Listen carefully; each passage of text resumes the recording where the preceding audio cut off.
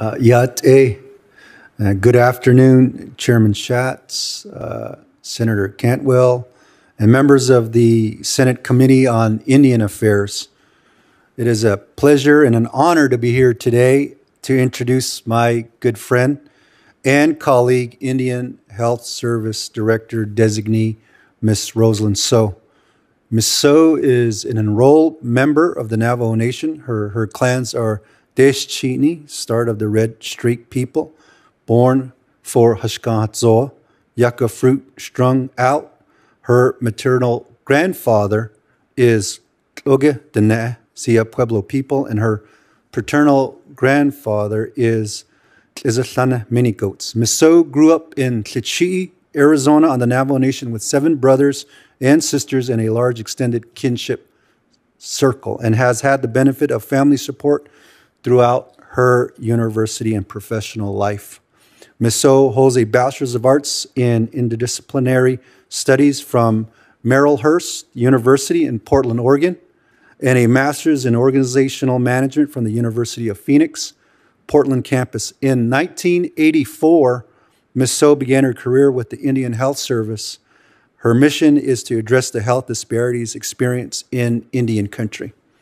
After many years away from the Navajo Nation, she returned to serve as the director of the Indian Health Services Navajo Area Office. The Navajo Area IHS office provides health services to over 244,000 Native Americans, stretching over 27,000 square miles.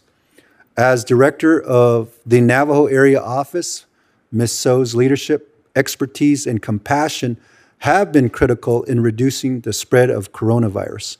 When COVID 19 began spreading in the Southwest, there were a lot of uncertainties, as we know, and fear among everyone. We established a work group to begin mitigation efforts. Ms. Tso and her team were part of this group. To combat COVID 19, the Navajo Nation established a preparedness team to that was comprised of tribal leaders, 638 healthcare facilities, in Department of Health, and other organizations such as Johns Hopkins University. The preparedness team evolved to a response team. The group of experts continue to provide guidance to continue to mitigate the virus.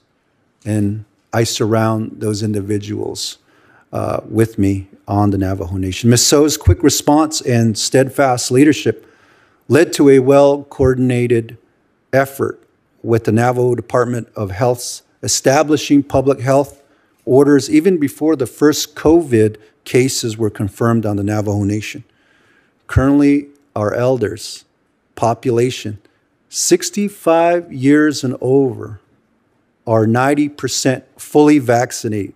Most of the general Navajo population is vaccinated. At a time when mainstream America had barely reached a 50% testing rate, the Navajo Nation was at 75%. Through her leadership, the Navajo Nation achieved one of the highest vaccination rates in the world. Ms. Tso also worked very closely with tribal governments on the implementation of the Indian Health Self Determination and Education Act, allowing for the swift execution of programs under Public Law 93 638 contracts. She has been instrumental in securing full funding for IHS SDS water projects for Navajo communities. Ms. Tso's commitment to public service stems from her family experience, which includes many of the challenges many face, many families experience in Indian country. Ms. Work ethic, value system, and approach to problem solving demonstrates the resilience of indigenous peoples and the commitment to combat the system, systematic inequities that have impacted tribal nations since the Western expansion. It is because of her extensive experience working with federal and tribal governments that we are confident that she will continue to promote federal trust responsibilities and enhance our nation to nation relationship to improve the Indian health ser- care service delivery throughout Indian country.